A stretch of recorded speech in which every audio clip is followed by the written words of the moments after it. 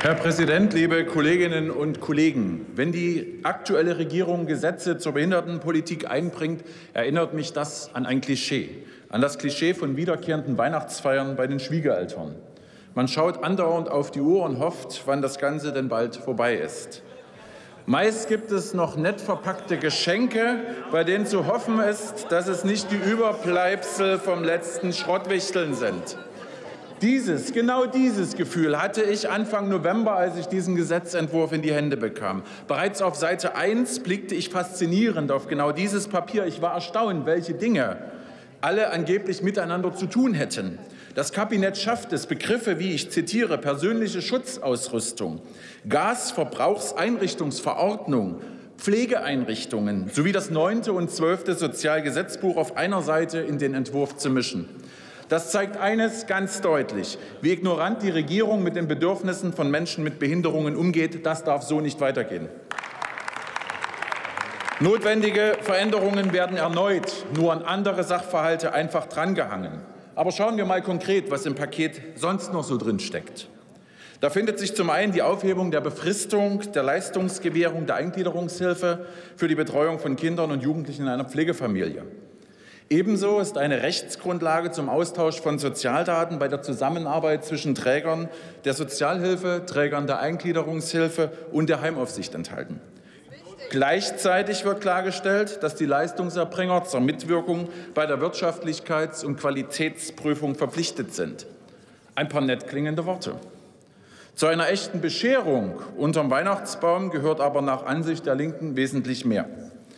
Viel zu zahlreich sind die Diskriminierungen, die Menschen mit Behinderungen weiterhin ertragen müssen. Hier wird keine Abhilfe geschaffen.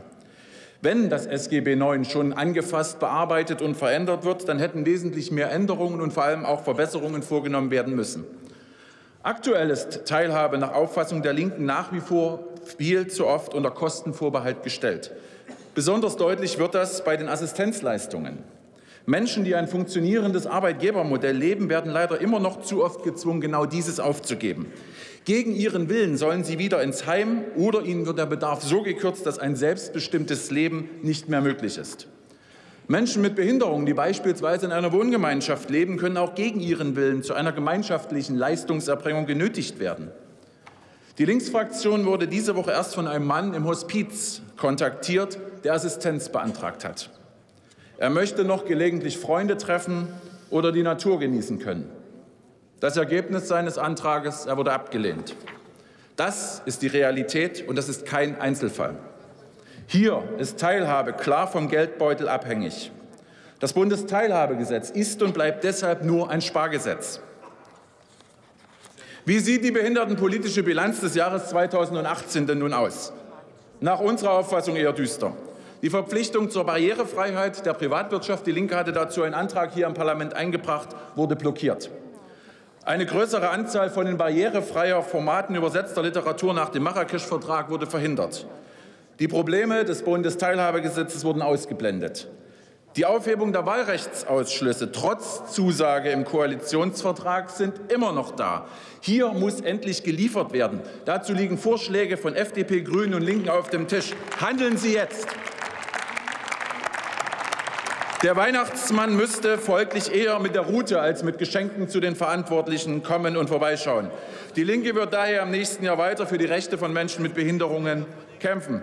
Betroffene müssen endlich inklusiv leben können. In diesem Sinne wünsche ich Ihnen und uns frohe Weihnachten. Vielen Dank.